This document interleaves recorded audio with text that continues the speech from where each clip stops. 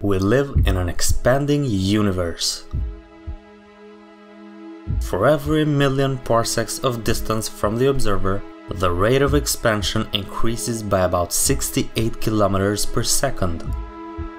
All of the galaxies that populate the universe, including our Milky Way, are moving away from each other. How quickly galaxies move away from one another depends on their relative distance. From our viewpoint, the farther away another galaxy is, the faster it moves away from us.